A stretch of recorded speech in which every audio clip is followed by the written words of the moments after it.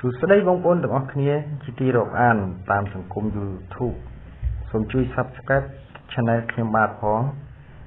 អបអរសាទរបបរកញ្ញាកម្ពុជាឈ្នះដាច់រហូតពីតាមក្នុងការ live និង share ដល់ច្រើនសន្ធឹកសន្ធាប់រហូតដល់បើគិតត្រឹមពេលបិទនេះ គិតត្រឹមពេលម៉ោង5នេះបវរកញ្ញាកម្ពុជាឌីលីកាទទួលបានការចុះឡាយលើរូបភាពក្នុងឈុតបុរាណដល់ទៅ21000 216,000ឡាយខណៈបវរកញ្ញាវៀតណាម បានទទួលត្រឹម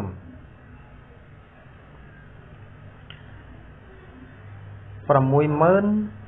7000 like ប៉ុណ្ណោះប៉ុន្តែចំនួននៃការ like share រូបភាពរបស់ប្រវត្តិញ្ញាកម្ពុជាទើបទទួលបាន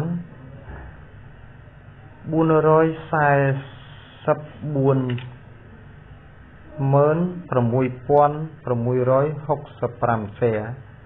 បវរកញ្ញាវៀតណាមតែទទួលបាន 411 342សេបន្ទុកនេះ គិតទៅលើការចុច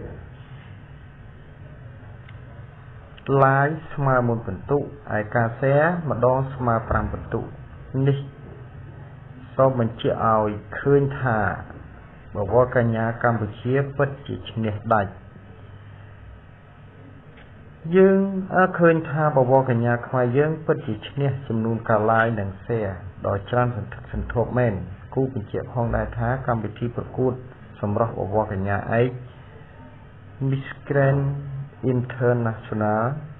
2018កំពុងតែដំណើរការនៅប្រទេសមីយ៉ាន់ម៉ាដោយខណៈនេះការប្រកួតប្រជែងជ្រើសរើសយកឈុតតំណាងជាតិចំនួន20ដែលស្រស់ស្អាតជាងគេ